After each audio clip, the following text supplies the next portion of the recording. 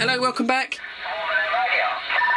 Got the 305 in full swing, but I'm not going on the 305 on this video. I just want to have a quick chat to you about a little quirk which affects the 6900 CRT radio and the 9900. I don't know this if this affects the 7900 or the 3900 I've not got those radios to compare it and that is that if you use these radios in cold weather in cold conditions that when you first switch on they tend to be a little bit off frequency both my radios can be a little bit high. So when, when you transmit, people might come back and say to you, Fred, you're a little bit off frequency. As the radio warms up, and this can take as little as say five minutes, as the radio warms up, they get onto frequency pretty quickly and then they do not drift. They are spot on throughout the whole of the QSO.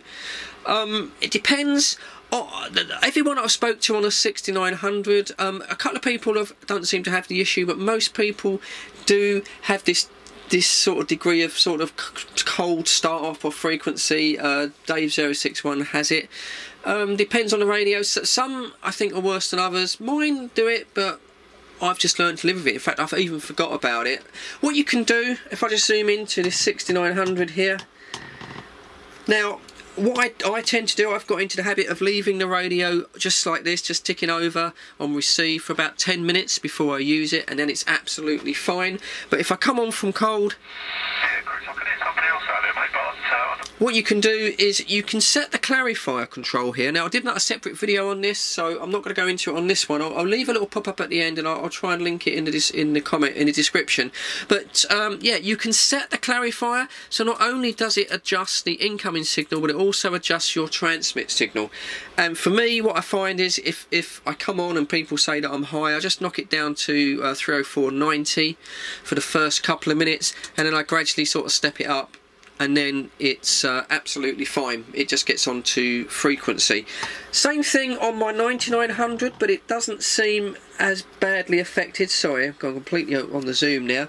What I can do on this radio is I don't worry about the clarifier because it has a linear clarifier. I generally just do the tuning. I just have it just to for the last digit there.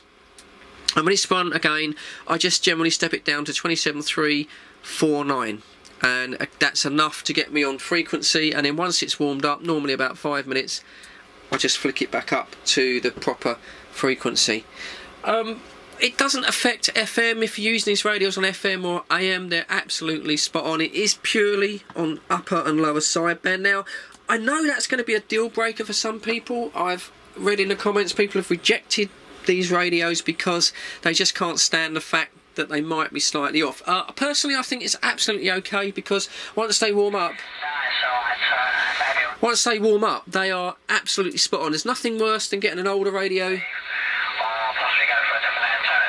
Getting an old radio that slightly drifts off, and you know, and but once these warm up, they are absolutely fine. But I do understand that some people it might be a real deal breaker. They, they, they really have trouble coping with that.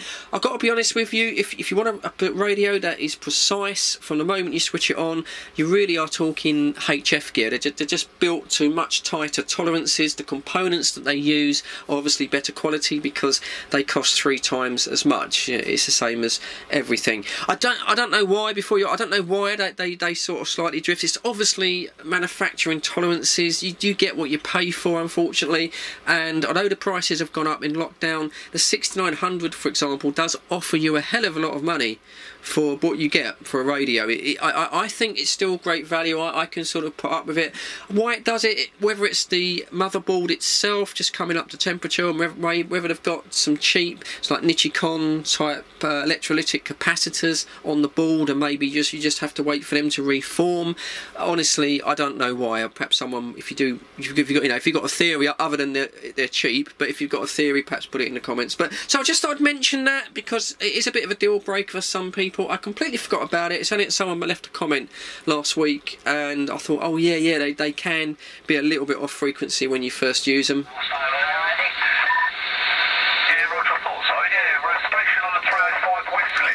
But uh, as I say, once, once they come on, once they come up to temperature, and it's it, they're absolutely fine. But of course, other people using them, they do sound sometimes a little bit off. But that's it. I hope I've explained that well. Sorry, it's just a video that I was making while I was listening to the 305. There you go.